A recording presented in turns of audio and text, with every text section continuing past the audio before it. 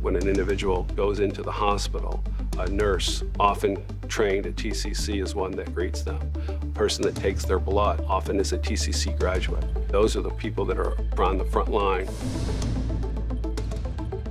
We are the community's college. We do have a vested interest in every single community member. We want to ensure that we are able to provide opportunities for them.